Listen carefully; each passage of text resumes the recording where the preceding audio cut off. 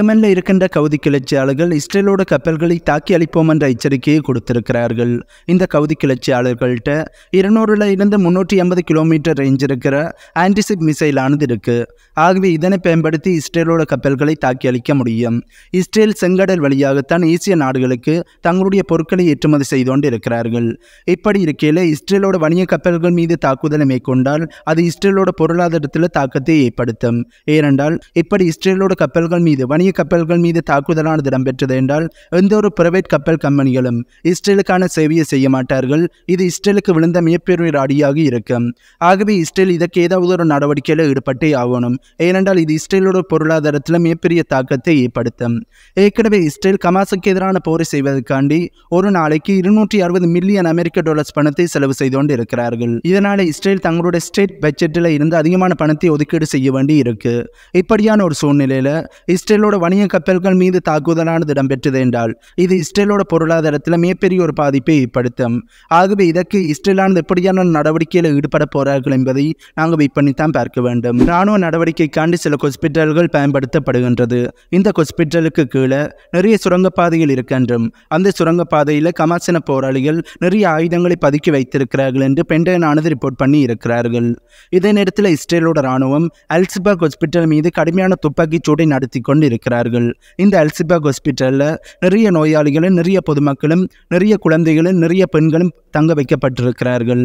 இஸ்ரேலோட துப்பாக்கிச் சூடானது நோயாளிகளை குறிவைத்ததாக இருக்கின்ற செய்திகளும் வெளிவந்து கொண்டு இருக்கு இஸ்ரேல் தரப்பில் இருந்து கமாசின போராளிகள் இந்த ஹாஸ்பிட்டலில் பதுங்கி இருக்கிறார்கள் என்றும் அவர்களுக்கு எதிரான தாக்குதலை தாம் மேற்கொண்டு கொண்டு இருக்கும் என்று சொல்லியிருக்கிறார்கள். இதில் அமெரிக்காவோட ரிப்போர்ட்டை நம்ப முடியாது. ஏனென்றால் அமெரிக்கா இஸ்ரேலுக்கு தான் சப்போர்ட் பண்ணி கொண்டு இருக்கிறார்கள் காசா பகுதியில் இஸ்ரேல் தாக்குதலை செய்வதற்கு தேவையான வெப்பன்ஸை கொடுப்பது இந்த அமெரிக்கா தான். ஆகவே அமெரிக்கா இஸ்ரேலுக்கு ஆதரவான அறிக்கைகளை தான் வெளியிடுவார்கள். கமாசின போராளிகள் ஹாஸ்பிட்டலுக்கு கீழே சுரங்கப்பாதைகளை வைத்திருக்கிறார்கள் என்று இஸ்ரேல் தரப்பிலிருந்து சொல்லியிருந்தார்கள். அதற்கு ஆதரவாகத்தான் இப்போது அமெரிக்காவும் கருத்துக்களை தெரிவிச்சிருக்கிறார்கள் ஆகவே அமெரிக்கா சொல்வதை எங்களால் நம்ப முடியாது. இதே நேரத்தில் அமெரிக்கா சொல்வதை நாங்கள் நம்பணும் என்றால் அமெரிக்கா இஸ்ரேல் செய்கின்ற போர்க்குற்றங்களுக்கு எதிரான கேள்விகளை கேட்டிருக்க வேண்டும். அப்படி கேட்டிருந்தார்கள் என்றால் அமெரிக்கா நியாயத்தின் பக்கம்தான் நிற்கிறார்கள். ஆகவே அமெரிக்கா உண்மையைத்தான் சொல்கிறார்கள் என்று நாங்கள் நம்பியிருக்க முடியும். ஆனால் அமெரிக்கா என்ன செய்கிறார்கள்? இஸ்ரேல் போர்க்குற்றங்களை செய்யும் போது கண்ணும் காணாத மாதிரி இருக்கிறார்கள். அதுவே ஹமாசின போராளிகள் தாக்குதலை நடத்தினா மட்டும் ஹமாசின போராளிகளுக்கு எதிரான கேள்விகளை அமெரிக்கா கேட்கிறார்கள். ஆகியவை அமெரிக்கா சொல்வதை நாங்கள் எப்படி நம்ப முடியும்? இதனை பற்றி உங்களோட கருத்துக்களை கீழே கமெண்ட் பண்ணுங்க. ஒரு மில்லியனுக்கும் அதிகமான குழந்தைகள் காச பகுதியில் இருக்கிறார்கள். அதில் பலர் காணாமல் போயிருக்கிறார்கள் அல்லது கட்டிட இடிபாடுகளுக்கு சிக்கியிருக்கிறார்கள் என்று யுனிசெஃபோட நிர்வாக இயக்குனர் சொல்லியிருக்கார். மேலும் அவர் காச பகுதியில் இருக்கிற ஒரு மில்லியன் குழந்தைகளுக்கு பாதுகாப்பான இடங்களானது இல்லை. ஏற்கனவே நாலாயிரத்தி அறுநூறுக்கும் அதிகமான குழந்தைகள் கொல்லப்பட்டிருக்கிறார்கள். ஆயிரத்துக்கும் அதிகமான பேர் காயமடைந்திருக்கிறார்கள். ஏற்கனவே பல குழந்தைகள் காணாமல் போயிருக்கிறார்கள். அல்லது பல குழந்தைகள் கட்டிட வீடுகள் இடிபாடுகளுக்கு சிக்கி இருப்பதாக நம்புகிறோம் என்றும் அவர் சொல்லியிருக்கார் எனக்கு என்ன கேள்வி என்றால் இந்த குழந்தைகள் எல்லாம் என்ன பாவம் செய்தார்கள்? முன்னாள் ட்விட்டர் என்று அழைக்கப்பட்ட எக்ஸ் தளத்தில் வருகின்ற வீடியோஸாக இருக்கட்டும் போட்டோஸாக இருக்கட்டும் அதனைத்துமே கண்கலங்க வைக்கின்றது. சின்ன சின்ன பச்சிளம் குழந்தைகள் எல்லாம் கொல்லப்பட்டிருக்கிறார்கள். நிறைய பேரண்ட்ஸ் தங்களுடைய குழந்தைகள் கொல்லப்பட்டு விட்டார்கள் என்று தெரிந்துமே தங்களுடைய குழந்தைகள் மறுபடியும் உயிரோடு வந்து விடாதா என்று அந்த குழந்தைகளை தூக்கி வச்சுக்கொண்டு அழுது கொண்டே அந்த குழந்தைகளோடு பேசிக்கொண்டு இருக்கிறார்கள் நிறைய அப்பாக்கள் தங்களுடைய குழந்தைகள் இறந்து விட்டதை கேட்ட உடனே கதறி கதறி அழுகின்ற வீடியோஸை பார்க்கும்போது மனசெல்லாம் உடையுது. சின்ன குழந்தைகள் தாக்குதலோட சத்தத்தாலையும் கட்டிட இடிபாடுகளுக்கு சிக்கிய குழந்தைகளை மீட்ட பிறகு அந்த குழந்தைகளுக்கு என்ன நடக்குதுன்னு தெரியாமல் பயத்தாலே நடுங்குகின்ற வீடியோக்களும் நிறைய குழந்தைகளை காப்பாற்ற முடியாமல் மருத்துவர்கள் கதறி கதறி அழுகின்ற வீடியோக்களும் கண்கலங்க வைத்திருக்கு. ஆகவே இதயம் பலவீனமான நபர்கள் எக்ஸ் தளத்தில் போய் இந்த வீடியோக்களை பார்த்து விடாதீர்கள். அடுத்த நாற்பத்தெட்டுல இருந்து எழுபத்தி ரெண்டு மணி நேரத்துக்கு இடையில பணைய கைதிகளை விடுவிப்பது தொடர்பான ஒப்பந்தத்தை கமாஸ் மற்றும் இஸ்ரேலானது அறிவிக்கக்கூடிய வாய்ப்புகள் இருக்கென்று இஸ்ரேலோட அதிகாரியை மீக்குள் காட்டி ஏபிசி ஆனது ரிப்போர்ட் பண்ணி இருக்கிறார்கள். இதே நேரத்தில் காசா பகுதியில் இருக்கின்ற ஐநாவோட ட்ரக்குகளுக்கு தேவையான இருபத்தி நாலு டன் அளவிலான டீசலை வழங்குவதற்கு இஸ்ரேலானது ஒப்புதலை அளிச்சிருக்கிறார்கள் என்று ராய்டர்ஸ் ஆனது செய்தி வெளியிட்டிருக்கிறார்கள். இப்போ நடக்கிறதை வச்சு பார்க்கும்போது கமாசின போராளிகள் ஒப்பந்தத்தின்படி பணி கைது கைதிகளை விடுவிப்பார்களா என்பது ஒரு சந்தேகமாக இருக்கு. ஏனென்றால் இஸ்ரேலோட ராணுவமானது அல்சபாக் ஹாஸ்பிட்டல் மீது கடுமையான தாக்குதலை மேற்கொண்டு கொண்டு இருக்கிறார்கள். ஆகவே இந்த தாக்குதலோட முடிவில் தான் எத்தனை பொதுமக்கள் கொல்லப்பட்டார்கள் எத்தனை நோயாளிகள் எத்தனை பெண்கள் எத்தனை குழந்தைகள் கொல்லப்பட்டார்கள் என்பது தெரியவரும். ஆகவே இந்த தாக்குதலின் காரணமாக கமாசன போராளிகள் ஒப்பந்தத்தின்படி பனை கைதிகளை விடுதலை செய்வார்களா என்பது ஒரு சந்தேகமாகத்தான் இருக்கு. அமெரிக்கா இஸ்ரேலுக்கு கொடுக்கின்ற மிலிட்டரி ஈடு பேக்கேஜை வேக வேகமாக அதிகப்படுத்தி இருக்கிறார்கள்.